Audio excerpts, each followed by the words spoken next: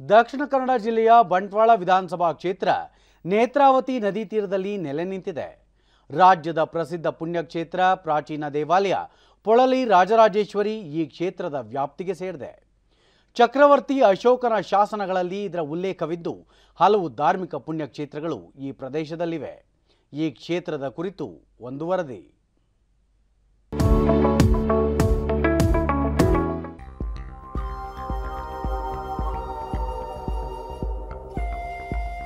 ರಾಜಕೀಯವಾಗಿ ಈ ವಿಧಾನಸಭಾ ಕ್ಷೇತ್ರದಿಂದ ಹಲವು ಮುಖಂಡರು ಉನ್ನತ ಸ್ಥಾನಗಳಿಗೆ ಏರಿದ್ದಾರೆ. ಬಂಟ್ವಾಳ ವಿಧಾನಸಭಾ ಕ್ಷೇತ್ರ ಈ ಹಿಂದೆ ವಿಟ್ಲ ವಿಧಾನಸಭಾ ಕ್ಷೇತ್ರದ ವ್ಯಾಪ್ತಿಯಲ್ಲಿತ್ತು. ನಂತರ ಬಂಟ್ವಾಳವನ್ನು ಪ್ರತ್ಯೇಕ ವಿಧಾನಸಭಾ ಕ್ಷೇತ್ರವನ್ನಾಗಿ ರೂಪಿಸಲಾಗಿದೆ. ಬಂಟ್ವಾಳ ಎಂದರೆ ಬಂಟವಾಲ ಅರ್ಥಾತ್ ತುಳು ಭಾಷೆಯಲ್ಲಿ ಬಂಟರು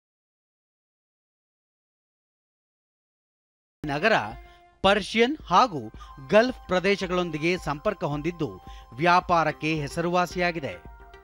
ಈ ಭಾಗದ ಅತಿ ಹೆಚ್ಚು ಜನರು ಗಲ್ಫ್ ಪ್ರದೇಶಗಳಲ್ಲಿ ವ್ಯಾಪಾರ ವಹಿವಾಟಿನಲ್ಲಿ ತೊಡಗಿಕೊಂಡಿದ್ದಾರೆ.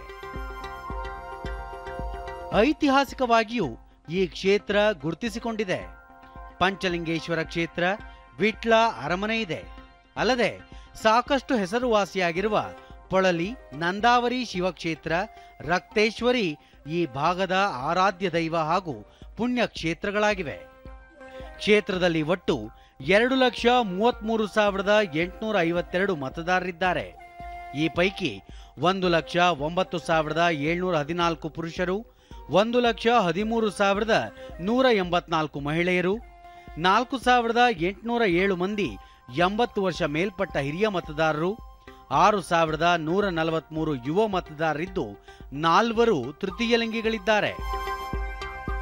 ಕಳೆದ ಬಾರಿ ಈ ಕ್ಷೇತ್ರದಿಂದ ಬಿಜೆಪಿ ಅಭ್ಯರ್ಥಿ ಗೆಲುವು ಸಾಧಿಸಿದ್ದರು.